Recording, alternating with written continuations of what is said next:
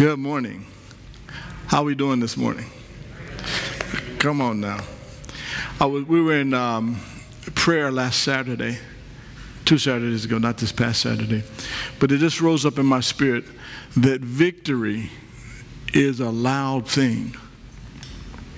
How many of you have ever uh, been at a, a sports event and at the end of the game, at the end of the game, your team wins and it's a big, huge win? I mean, it's, and it came from behind victory.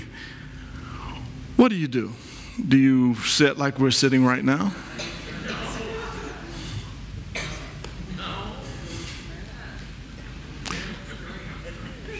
Do, do we sit expressionless?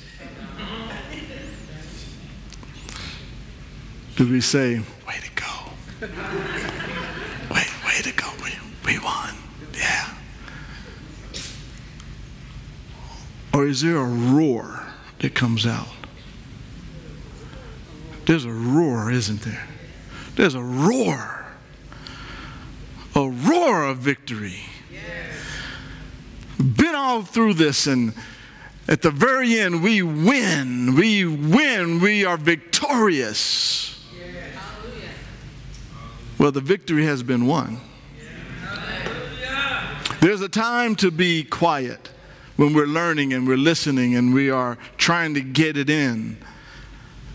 I mean, I don't want anyone, if I'm in a learning environment, I don't want somebody over in the corner yelling and screaming and hollering the whole time while I'm trying to learn. But after I've learned and got the victory, I want to roar.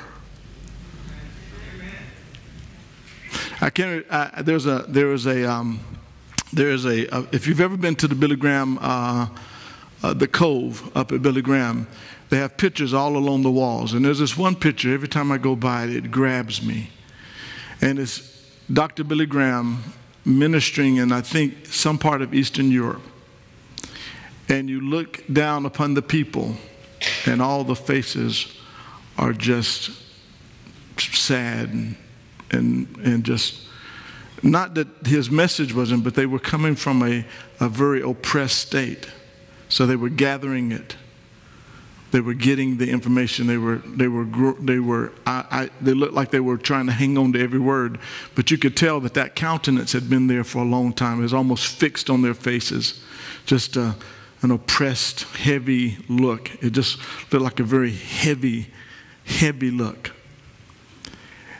And, and, and I thought to myself, that probably was not the same after a little while of allowing the Spirit of God in their lives. So I want us all to just stand up right quick, and, and I want you to know that you're not an oppressed people. Uh, uh, those of us, and I think most of us here, we're of the kingdom of God. The, the King has come.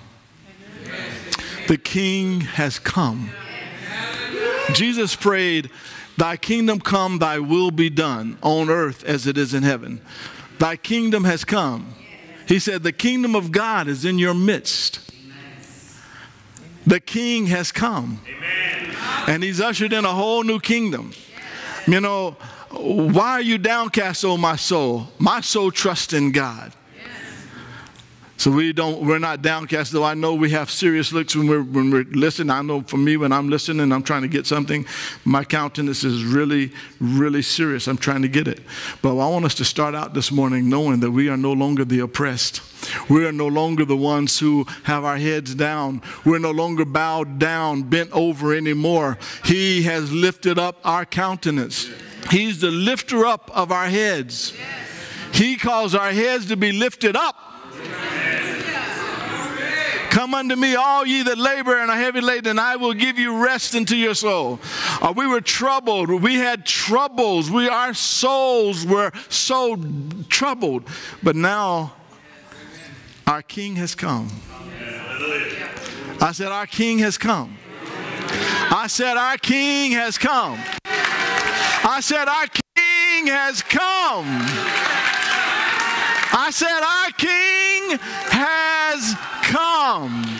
Let somebody know it. Let him know it. Roar. Roar on the inside. Father, we thank you today. We bless you. We honor you today. We glorify you today. Today. Thank you for giving us life. Thank you for giving us your abundance. Thank you for causing us to be winners and not losers, the head and not the tail, above only and not beneath. Thank you for causing us to prosper in all areas of our lives. Thank you, Lord. You took us from a very difficult place. Now you've hit us in the cleft of the rock. You've expanded our territory. You've enlarged our space. And we thank you for it. In Jesus' name, amen. Hallelujah. Hallelujah. Glory to God. Some of y'all getting it. By the time we end today, you will have it. You will have it. Let's pray. If you would, uh, just hold hands with the person that you're comfortable with holding hands with. If you're not comfortable with holding their hand, don't hold the hand. All right, Heavenly Father, we thank you so much. We bless you.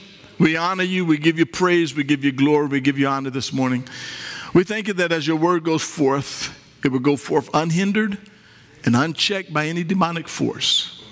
That your word is powerful, it's mighty to the breaking of strongholds. We thank you, Father, for the liberation that takes place every single time we hear your word. Every time we hear your word, we, we get to experience more of your liberty. And we bless you for it. I ask you to think through my mind and speak through my lips this morning words that will edify us, exhort us, comfort us, and provoke us to change. And we want to serve notice to the enemy this morning that he is defeated. Satan, you're defeated. You are under our feet. You cannot and you will not hinder anyone this day from having their spiritual needs met. In Jesus' mighty name, amen. Hallelujah. All right. Okay.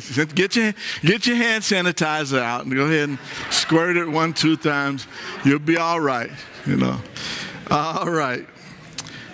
All right, well, we're going to get into the word today, Romans, uh, and we're really coming down to the final bit of the book of Romans. And so, as we get into the latter part of uh, Romans 6, the latter part of 15 and 16, it's really kind of a, uh, words that he's speaking to close out the book. So, really, we're in the heart of it this morning. We're in the heart of, um, of uh, or the ending, the conclusion of it all and what we'll cover uh, this morning. So let's uh, get started. Romans uh, chapter 15. And um, hopefully you've uh, been, kept, a, kept up with us. We did a little bit of 15 on uh, Wednesday Bible study. And so we'll start there and, and uh, continue on. Romans chapter 15, verse 1 says, We who are strong have an obligation to bear the, with the failings of the weak and not to please ourselves. Let each of us please his neighbor for his good, to build him up. For Christ did not please himself, but as it is written, the reproaches of those who reproached you fell on me. Hmm. I'll, I'll stop, I'll get back to that. For whatever was written in former days was written for your instruction, that through endurance and through the encouragement of the scriptures, we might have hope. May the God of all endurance and encouragement grant you to live, to live in such harmony with one another in accord with Jesus Christ or Christ Jesus, that together you may with one voice glorify the God and Father of our Lord Jesus Christ. Therefore, welcome one another as Christ has welcomed you for the glory of God. Now, I went over this Wednesday, but I want to just touch on a few things so that uh, we can segue into this next part um, for today. The first thing I want us to see is this it says, the first part, it says, um, we have an obligation. That word obligation simply means we owe it. Remember uh, back in uh, one of the chapters, earlier chapters of Romans, it says, Owe no one anything except this. What is that? To love them. In other words, pay off your car note, your house note, all your other notes, pay your bills. But the one bill you can never pay off, the one debt you'll never pay off, is that of love. That means every day we go out, we owe someone love. So he says, we owe it to bear one another's weaknesses. We owe it every day. When we come in contact with people, we owe it to bear one another. Now, a, a good way always is to kind of um, treat it as, as something that, that you and I are in on a regular basis. So, our relationships that we have on a day to day basis. You know, you know for, for those who are married, think about it this way. We who are strong have an obligation, we owe it to our wife or our husband to bear with their failings. All right? We owe it to them. Now, just for a show of hands, now you don't have to, better not show your hand on this one. But how many of you know some things about your spouse that you've had to deal with since you've been married? You don't have to answer it, but, but I know it's true. I, I know that because, not through my marriage, of course, but I know. I know that because I know how long it takes people to change. It takes people, some things are ingrained in us from a childhood, depending on how we were raised. It was just, just we were raised that way, and, and it's so ingrained in us. Some of those things might not come back until come out until Jesus comes back. That's just the truth of the matter. They, they might not change until Jesus comes. But, but are we to just give up simply because that weakness is still there? I'm sure there's some areas of my life where my wife would like for me to be better. I know y'all, y'all eager to find out what areas, Pastor. Please tell us so we can know. I done told you enough. 28 years of ministry, you know probably more about my life than I know about my life. No, but there, there are things where I'm certain, just, just idiosyncrasies, uh, scruples, as it were, that I kind of grew up with or kind of came in my life that I have now while I'm in married, uh, in marriage. And Lord knows she does. but I, I'm not giving up on her. I, I'm bearing with her weakness. I owe it to her to bear with her weakness. That's my commitment is to bear with her weaknesses, her failings. And likewise, she does the same for me. You know, there are certain things that are just, I just are not that, I'm just not that detailed. I mean, I'm, I, I asked her for something this morning, and I asked her, and I said, you, have you seen, which is a common question, have you, have you seen, anyone else have those kind of questions? Have you, have you, have you seen my, have you seen any, any wise husband go through that on a regular basis? Anyone? Mrs. Dow says, Stop, put your hands down. And then she has this unique ability, this unique ability to, to know exactly where it's at. And I'm like, how do you know? Something so small, something so insignificant. Oh, you left it right there. I saw it. I'm like, how do you know that? She's bearing with my weaknesses. I'm not that detailed. I'll put something down and forget where I put it. So she has a choice either bear with that weakness or leave me. And so for 20, uh, 30 years now, 30, for 30 years, she's been bearing with that weakness. Now, it's not, a, it's not a, anything immoral about that. It's just a scruple that I have. My brain doesn't work that way. If I put it down, sometimes I have to say, if I'm trying to get, I, I have to say, I put it down right there. Otherwise, when I get up, it'll be there. That's what it means to bear. We're bearing. We owe it to one another. We're, we are in community, people. We belong to the body now. We are one big we now. We're not one big I, we're one big we. And because we're one big we, we have to look out for the other we's. Not just the one I. All right, so here we go. Let's keep on going because what we're seeing is the example of Jesus Christ here. He says, I have an obligation to bear with the failings of the weak and not to please ourselves. Now, we understand, based upon what we just, people come into church with scruples. The scruples primarily are not necessarily immorality, it's just religion. Well, this is the way we've always done it, or this is how I grew up. This is, you know, and we have to bear with those weaknesses. Let each of us please his neighbor for his good and build him up. Everyone say, build him up. So every day we're seeking an opportunity to build one another up. For Christ did not please himself, but as it is written, the reproaches of those who reproached you fell on me. Now he's talking about the reproaches of those, in other words, all of us were a reproach to God. Our sin, our nature, made us a reproach to God. And he's saying here, the reproaches of those who reproached you, all of them have fell on me.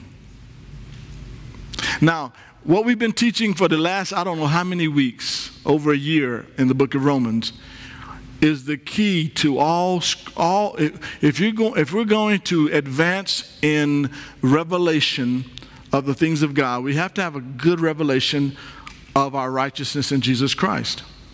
And this one scripture kind of bears that out. He says, The reproaches of those who reproached me, God, all of those reproaches have fallen on Jesus. So, any and everything that you are, think about it, any and everything that you've ever done, every reproach you have had against God, yeah, the ones that no one else knows about that you've stuck in the closet of your soul and have never revealed to anyone, not anyone, not even your spouse have you told this. That reproach fell on Jesus.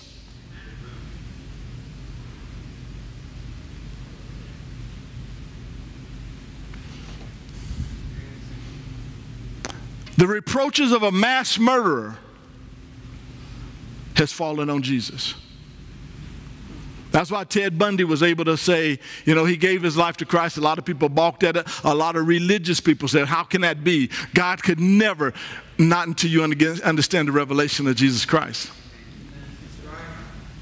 How could anyone love him like that? How could anyone, how could he possibly get in after all that he has done and many others alike? And maybe people that have done things to you. Their reproaches have fallen upon Jesus.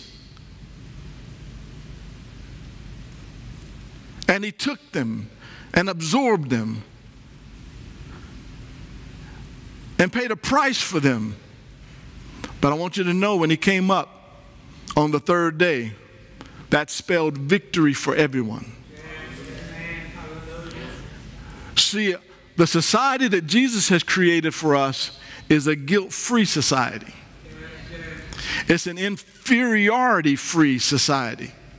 There are no little hymns and big U's or big U's and little hymns.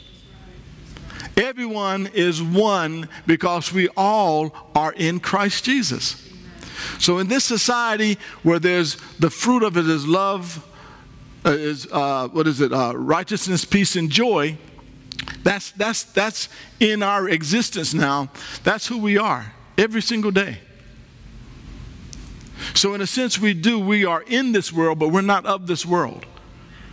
We're of the kingdom of God, and we have to train our minds to think that way. We have to discipline ourselves to know that I'm no longer in this world as it pertains to my existence. My, my uh, true existence is now in the kingdom of God.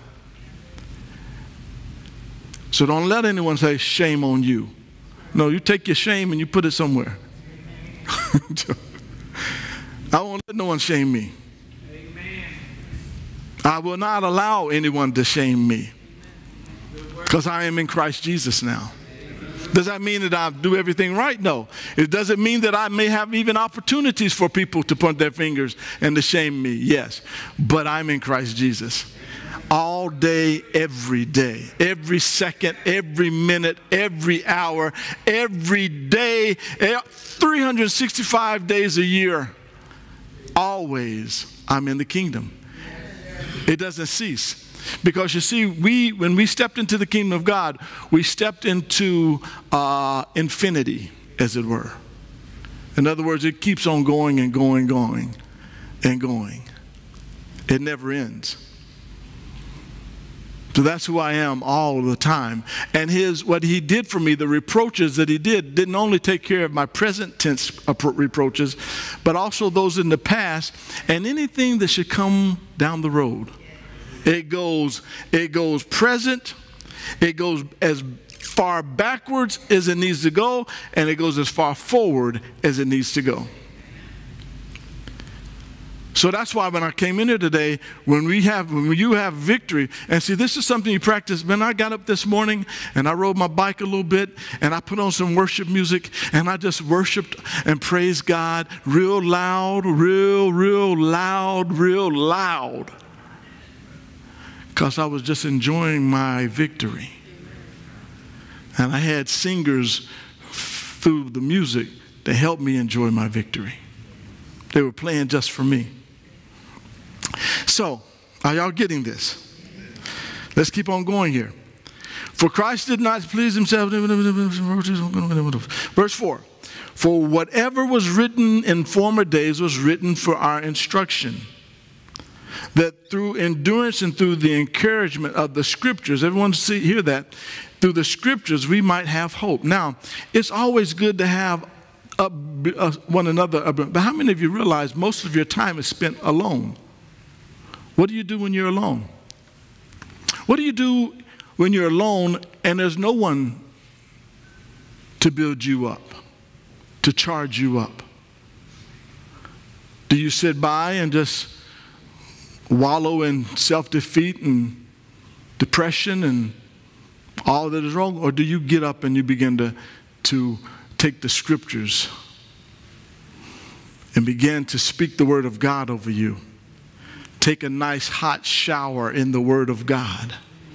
Let it cleanse your mind of any, any thoughts of defeat, any thoughts of, of not being enough any thoughts of inferiority. And it's always the word. Listen to me, people. It's always, everything begins and ends with our perception and receiving and revelation of the word of God because there's not always going to be people around us to encourage us. Even as I mentioned on Wednesday, uh, when, Paul, when David was uh, fighting and his men went out to fight and they were in a place called Ziklag and they came back and their stuff, their goods were gone, their children were gone, their wives were gone, and the warriors that were with David wanted to take his life. They wanted to get him. And David pulled away. And you know what he did? The Bible says, and he encouraged himself in the Lord. He encouraged himself in the Lord. That's what we do in the mornings or in the evening, whatever you're, you're whatever you're. If you're nocturnal, you are more of a, a, night person, or if you wake up early and you like that space in the morning, then you do that. But you take the Word of God and you encourage us. There's something phenomenal about the Word. I don't know what it is, but when you speak it, you'll realize it does work. It will encourage you. So the scriptures are, are our hope, and they create an endurance in us as we stay with the Word of God.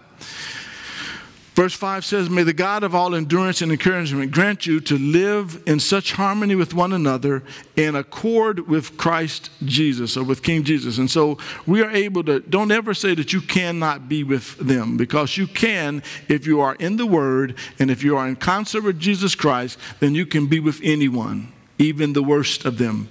You can, you can handle it, you can do it. Okay? And it says that together, listen, you may have one voice or one mind. Together, you may have one voice or one mind. Therefore, uh, the, together you may have one voice, glor- glorify the God and Father of our Lord Jesus Christ. Therefore, welcome one another as Christ has welcomed you. And therein, here it is, therein lies the glory of God. So when we, in concert with the Spirit of God, as we are in concert with His Word, then we're able to fit in the body. And we're able to fit in the body in such a way that we're not an adjutant in the body. Most of the time, using the, the, the, illustration of marriage again, because it's, it's just real to many of us, is most of the time when I see the difficulties within the marriage, it's because one person or both parties won't entreat the Word of God.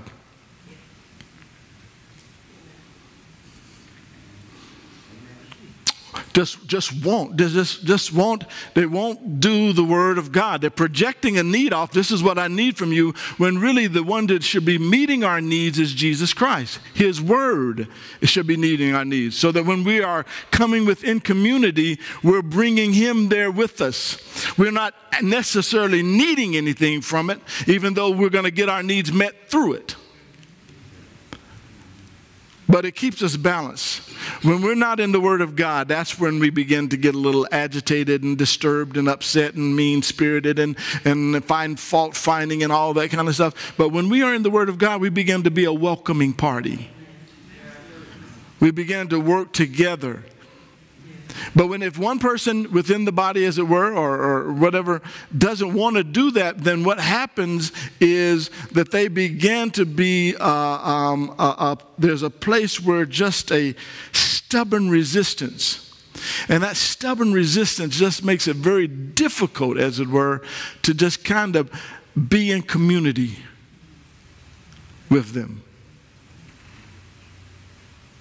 Because the tension happens because one person is moving in one direction and the other person is moving in another direction. You see, tension is formed not, let me see if I can give you an example of it. Can, can we find a, um, is there a rope or a string or something? Uh, I need something, uh, just something, know, a, a foot, two feet, whatever. Here you go. Let me just use this right here. Let me, let me show you what this is. And Kim, if you don't mind, stand, yeah, there you go. There you go. Joel, please stand up for me again. So, so me and my son, we don't have tension. He may be behind me. Go, hold it, hold that. He may be behind me, but as long as he's walking with me, you, as long as he's walking with me, there's no tension. But now, let's say that I want to go in this direction and he doesn't. You feel the stress? The reason a lot of times we have stress in a marriage and a relationship in the body of Christ is because not everybody, it doesn't matter how far he is behind me. It doesn't matter how far or whether he's mature or not as a believer or how long he's been a believer. It doesn't matter.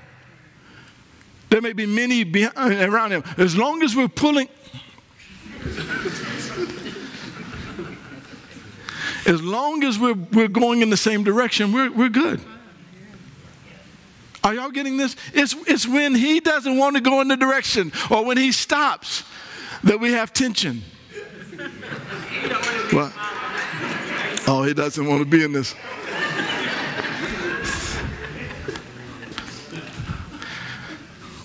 All right.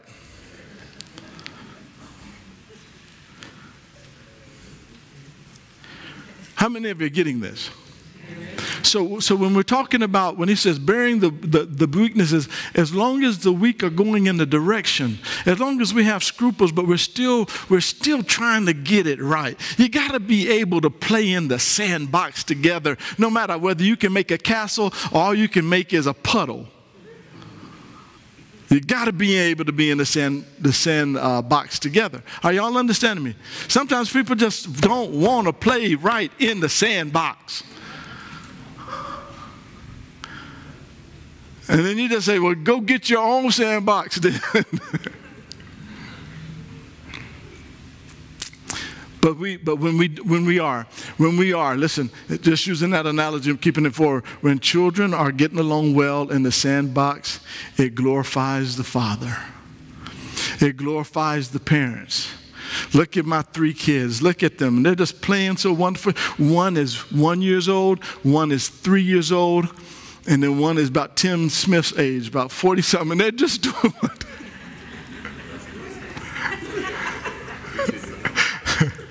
no, they're all doing good. They're all here together and they're playing together and they're enjoying it together. And the Bible says that's what glorifies God. So when we think about the tensions that we have, even within the body of Christ, uh, even within in some of the things we've been dealing with here in our community of late, you know, God is not glorified when His body is not wanting to move together. When there's a devaluing of one another. We bear with one another's scruples. All right, let's get to this last part here.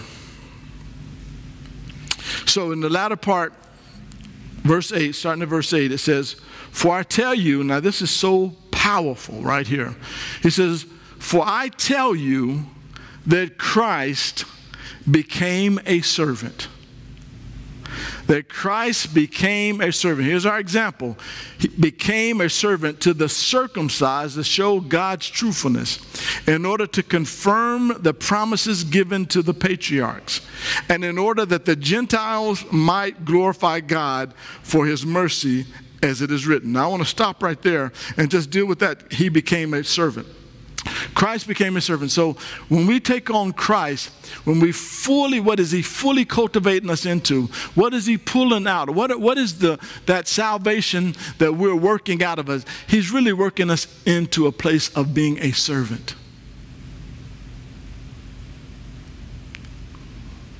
That we are, are serving one another. And the beauty about when everyone is a servant, serving one another, but all of them are kings and priests, then when everyone is serving one another, no one's need gets unmet. I'm being served by another king. I'm being served by another priest. And their whole goal, their whole ob- objective is while I'm trying to serve them, they're trying to serve me. And I'm trying to serve them, they're trying to serve me. I'm trying to serve them, they're trying to serve me. You never go without when we seek the attitude of a servant. And he says, let this mind be in you that was also in Christ Jesus, who, who made himself or emptied himself of his own um, uh, uh, majesty and, and, and who he was in, in God and came and became that of a servant. Now, listen to these, these scriptures I want to share with you real quickly. Listen to Matthew chapter 12 and verse 15. It says, Jesus, aware of this, withdrew from there, and many followed him, and he healed them all and ordered them not to make him known. Interesting. Interesting here. Let me read this one more time. Jesus, aware of this, withdrew from there, and many followed him, and he healed them all and ordered them not to make him known. See, the heart of a servant is not to be seen, it's to be served. It's to serve, excuse me. The heart of a servant is not to be seen. The best waiter or waitresses that will be in your life are not those who are uh, taking up all the time at the table. It's those that, when did they bring the food out?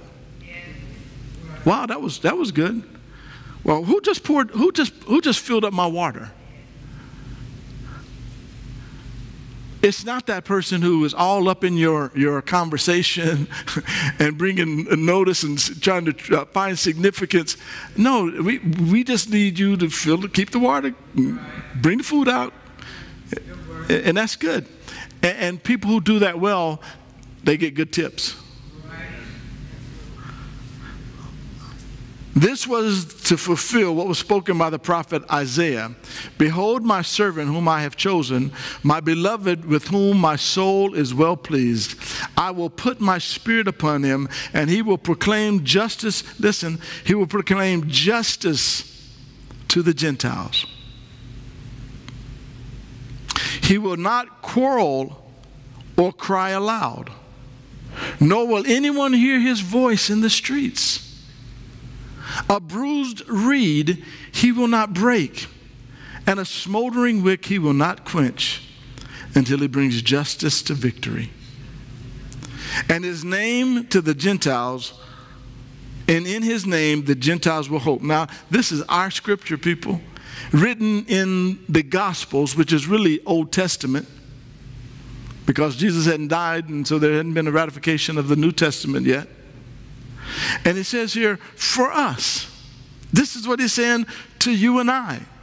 He says, until he brings justice to victory, and his name to the Gentiles will be that of hope. Or his name, the Gentiles will hope. That's who we are. We're the Gentiles. Now, why is this important? I want to read this to you as well from um, another scripture, uh, the same scripture, but I want to read it uh, through the, um, the, the Passion Translation. Jesus knew what they were thinking, so he left by another way. Massive crowds followed him from there, and he healed all who were sick. However, he sternly warned them not to tell others or disclose his real identity in order to fulfill the prophecy of Isaiah. Take a careful look at my servant, my chosen one. I love him dearly, and I find all my delight in him. I will breathe my spirit upon him, and he will decree justice to the nations. He will not quarrel. Now, I heard someone say this one time. He said this. He said, a young man came to him. He's a leadership guru. Um, what's his name? Uh, John, John Maxwell. And he said somebody came to him in one of his meetings. He's teaching the 21 laws of leadership. And the guy came to him in his meeting and said, Hey, could you please teach us? Teach, I want you to come to our company and I want you to teach us business ethics. And he looked at him and said, There is no such thing. He says, There's no such thing as business ethics. He says, he says, What do you mean? He says, There's no such thing as business ethics, it's just ethics. They apply wherever. They're just ethics. That's why we get in trouble many times is we have compartmentalized ethics. and sometimes we have ethics over here, but none over there. And so I want to say this in regards to justice. So it says here, um, be careful, look, and there's, uh, I will breathe my, and I will not quarrel or raise his voice. Wait a minute, did I get to that? Yeah. Take careful, uh, where do we get to? The, uh, I will breathe my spirit upon him, and, I, and he will decree justice to the nations. He will decree justice to the nations. He will not quarrel or raise his voice in public. He won't brush aside or bruise the broken. He will be gentle with the weak and feeble until his victory releases justice, and the fame of his name will birth hope among the people. Now, I said all of that about John Maxwell and this guy who came up and asked him because there is no such thing, in my opinion, as social justice. And so when we use it many times, people use it as a buzzword to either get involved or to say that's them. Why don't we just talk about justice? Why don't we just talk about what is just? Justice. Why don't we talk about what is right? Because the very moment we put social justice to it, the liberals claim it, the conservatives dismiss it, depending on what side you're on. Oh, that you. Oh, you're one of them. Oh, oh, oh! I know where you're coming from. No, let's just talk justice here. Let's talk about what is right. Let's talk about what is right for fellow men. Let's talk about what is right uh, within uh, community at large. Let's talk about what is right here. Let's talk about justice. So a lot of people, you know, well, you, oh, you, you were part of the woke culture. Well, what that means, I don't even quite know what that means. I just know what justice looks like.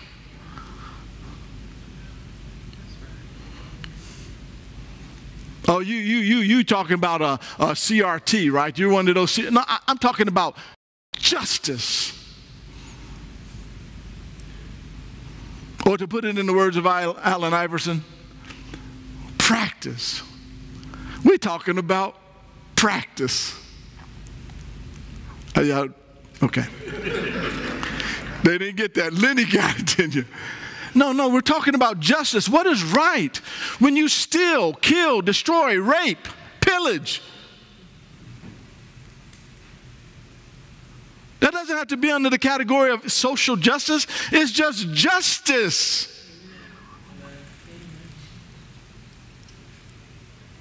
What is just? He says, I came to bring victory. I came to cause all the zeros of the world. I came to give them a claim to the kingdom now. I came to, that's what the scriptures was talking about there when he says, Blessed are the poor in spirit. Blessed are those who are just been down and out for so many years. He says, Now yours is the kingdom.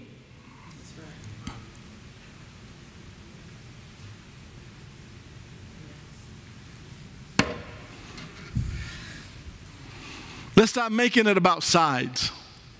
Let's stop making it about which side you're on. Let's just talk about justice, people. Amen. Is it just? Is it just? Is it just to pay two people on the same job doing the same thing? Is it just to pay one more than the other because of the color of their skin? We're talking about justice. Ain't nothing to nothing to do with color of skin. It has to do with justice. Is it just to do that?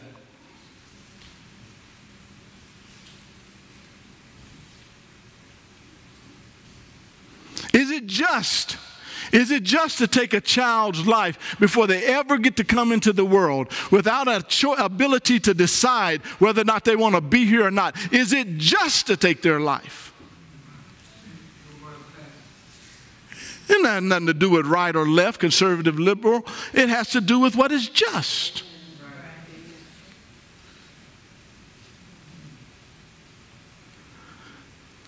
So many times we just get on a side and we stop thinking. And we get into group thought, group thinking. This is the way it is, not realizing that we have a just God who's given us just instructions. Because he is just and he is the one who made the heavens and the earth. He is the one that knows everything there is to know about our existence. Why would we not listen to him? It's never been about behavior. It's been about his kingdom and his love for us Therefore, he gives us instructions to save our lives. Once we get in the kingdom, for instance, let me give you an example of that real quick. Once we get in the kingdom of God, so I live in the kingdom of our neighborhood. And in our neighborhood, maybe some of you all are the same way, uh, everyone keeps their yard a certain way. Not the best, not the perfect, not deep, deep, you know, bluegrass green, but nice. You know, mo- most people in our, in our community, I think most, most people keep their, their yards, you know, fairly kept. I mean, it's not the high end, it's not the low end, but it's fairly kept. Well, since I'm there, I might as well keep my yard up, right? Understand? I got in the I got in the kingdom before before the culture began to to challenge me to to live a better life. Are y'all listening? See, we made it about behavior. No, we're talking about the kingdom culture here. Listen, you got to get this. Is it warm in here? Oh, it's not warm. Somebody said, sure enough, not warm. But, but we're, we're, we're talking as, as we get ready to close this out, we're, we're trying to get an understanding of what is this kingdom really all about? Is it about rules? Is it about, no, it's not about any of that. It's the king has come and the king has a certain, he says, all I want is you. If, if behavior, listen, if behavior got us into the kingdom, then behavior could get us kicked out of the kingdom. But behavior never got us in the kingdom. And that's what he boils it down to. Let me just get there, okay? So we don't waste the rest of this time. Listen to this latter part here. So as we close out, listen to what he says. He says, Therefore, verse, um, verse, uh, the latter part of, of verse 9, thank you. It says in, in, in quotations, is uh, quoting the Old Testament, he says, Therefore I will praise you among the Gentiles and sing to your name. Now, this is a, a, a, scripture from the book of Isaiah.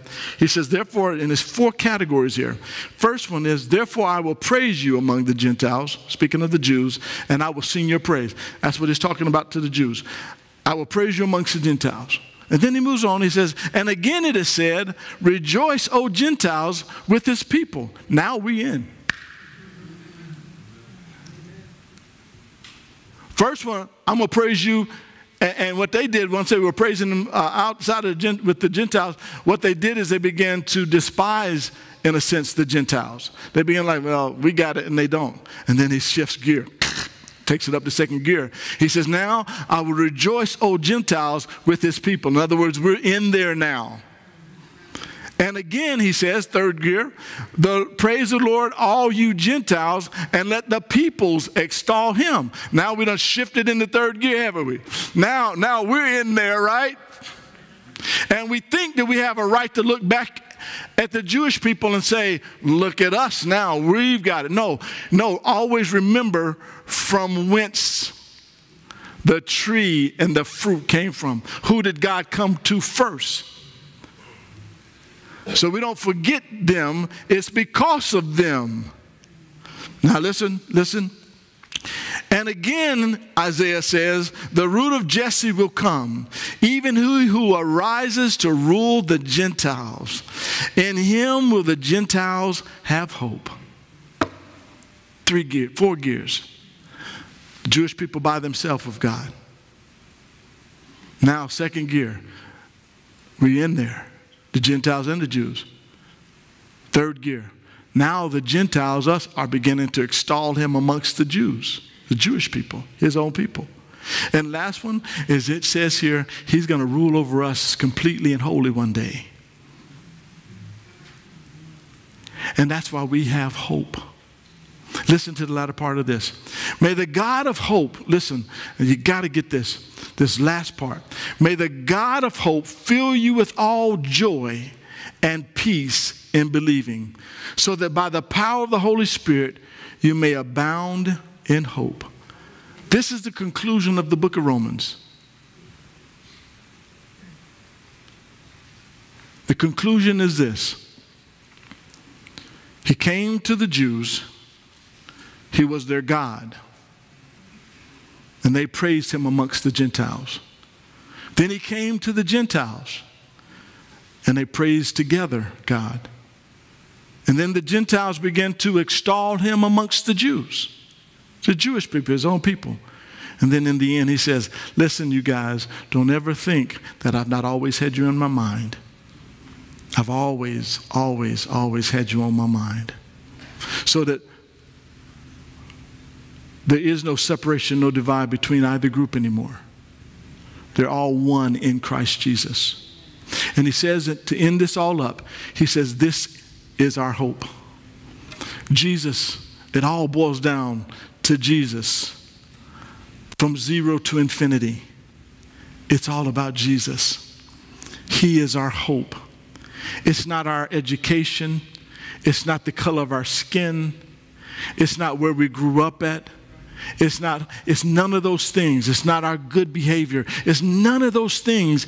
Our hope is in Jesus Christ. As we see all the things that are going on around us, we have a war over in the Ukraine now. We have a, shooting last night in, uh, in Buffalo, New York. We have all these things that are going on. We have food shortages. We have all of these things that are seemingly cataclysmic right now. But our hope is in Jesus. We can go to bed at night. We can go to sleep at night. We don't have to be fearful when we go to bed at night. We can always believe no matter how high the gas goes. Every time I see the gas go high, I praise God a little louder. No matter where it goes, I will always have a means of getting around. And if, it, if I can't buy the gas, then he'll have to transport me. Like he was there, but now he's there. Are y'all with me? Our hope, our hope is in the Lord. Our hope, we need not fret. We need not be fearful. He's our just king. He is our righteousness. He is our victory. He is all of that to you and I. So don't get caught up in hopelessness when you have all the hope in the world through Jesus Christ. No need to be fearful. No need to be fretful. No matter what goes on around us, He is our hope. He is our hope. So why are you downcast, O my soul? You put your faith and your hope and your trust in God. He is a deliverer all through time. We've seen through Deborah, through Samson, through Jephthah, all those other names of him always coming through, always, always coming through, always coming through and delivering his people, always. And that's his true nature. He will not let you down. He will not let us down. He's a faithful Lord. He's a just God. Please stand to your feet.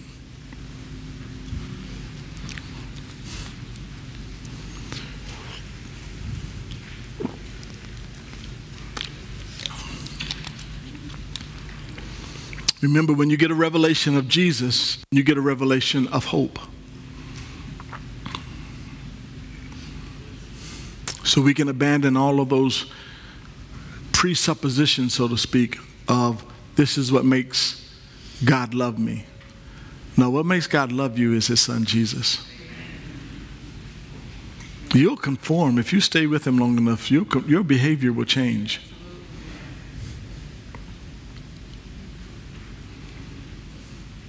But don't ever think it's your behavior that keeps you from Him or brings you to Him. It is Jesus. Therefore, I don't, and you don't, we don't have to be beholden, as it were, to anything or anyone. We can love freely. We can love freely. And we can have hope all the time. Let's pray. Heavenly Father, we thank you for our time together today. It's in you that we live and that we breathe and that we have our very being. We love you because you first loved us. We loved you because you sent your Son not into this world to condemn us, but through him we might be saved. Father, the concept of revelation of, of righteousness in Christ Jesus.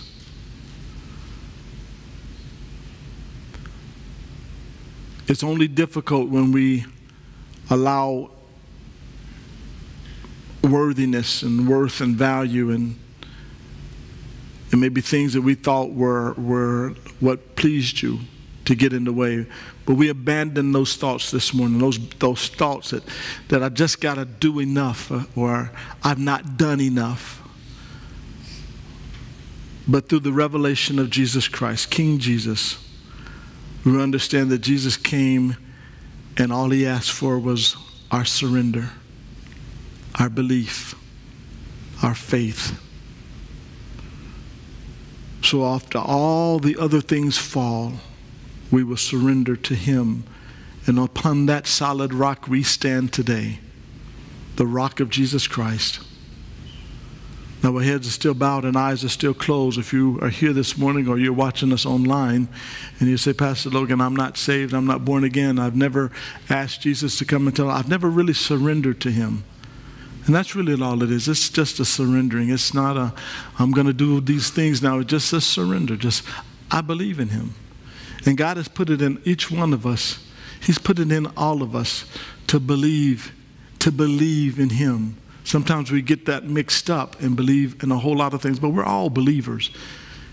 But the question is, what is it you're believing in? You may be believing in yourself. Maybe believing in your job, your children. Maybe believing in your academics, your money, and all those things will fail. but our hope is in Jesus Christ and Him alone.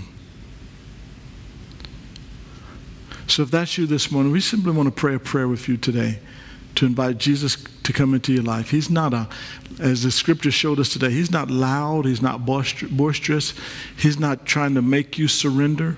Sometimes we've given him a bad name by our own works, but he's so very quiet in the sense of he will plead with you, he will work with you, he will, he will keep going along your side, even when you want to push him out of the room, he'll just stay there. He's so gentle. So if you're here this morning and say, Pastor, I want this Jesus, I want him in my life, I want to surrender to him. Would you raise your hand that I may see it this morning? We simply want to pray with you today. Is there anyone here? Or anyone watching us online today? Well, let's pray this prayer. God in heaven, your word tells me that if I would simply confess with my mouth the Lord Jesus and believe in my heart that you raised him from the dead, I shall be saved. Jesus, come into my life today. I receive you as my Lord and as my Savior. In Jesus' name, amen. You may be seated. If you prayed that prayer today, we want to welcome you to the family of God. Um, one scripture that I, I, didn't get down to the bottom of it, but I wish I had while I was teaching, but he says, A bruised reed and a, and a candle that is just about to go out. He says, He will not break it, He will not stuff out that candle. He's just super hypersensitive to all of us. Think about that just for a minute. Think about the people we may pass on the road sometime that are bruisery, just so fragile, will crack at any minute. And Jesus is like, let me protect it and make sure it doesn't crack, make sure it doesn't break. Or the candle, he's like, oh, watch, watch this candle. Let me make sure it doesn't, it doesn't go out. Oh, don't blow too hard. Let's keep this candle. That's what he's talking. That's our Jesus. That's our Jesus.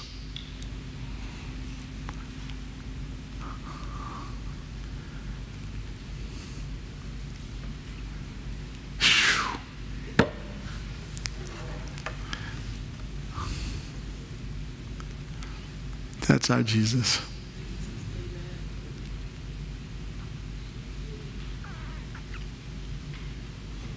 Hmm.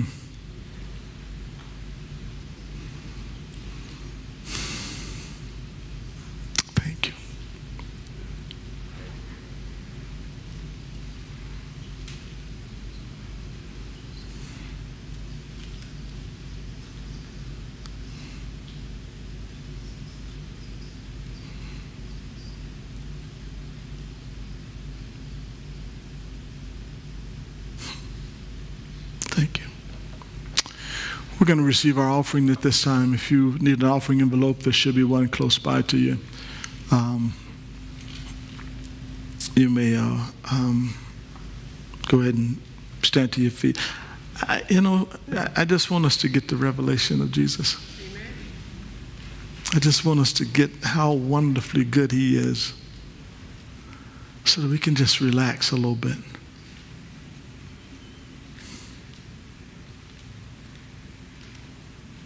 And just relax. Not be troubled. Not wonder whether or not every day that constant thought of, Am I good enough? You are. You're good enough. Not because of yourself, but because of Him. That's the revelation. We're the we's now. It's no longer about you anymore. It's about Him. It's about Him. Everything, it's about His goodness, His mercy, His kindness. He initiated it all.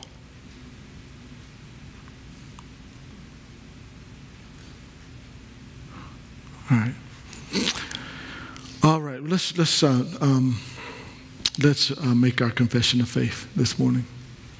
If you need an offering envelope, uh, you should have one near you.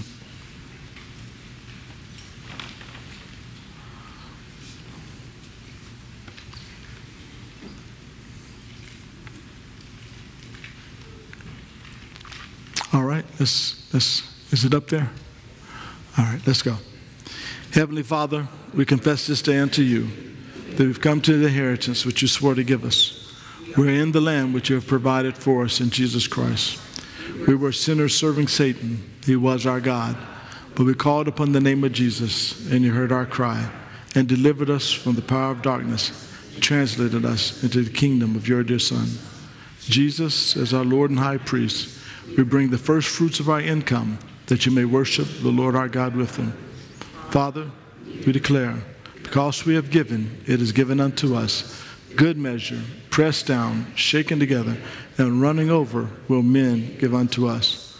Because we've given tithes and offerings, you have opened up the windows of heaven unto us and have poured us out such a blessing that we do not have room enough to receive it. We also declare, because we have sown bountifully, we shall also reap bountifully.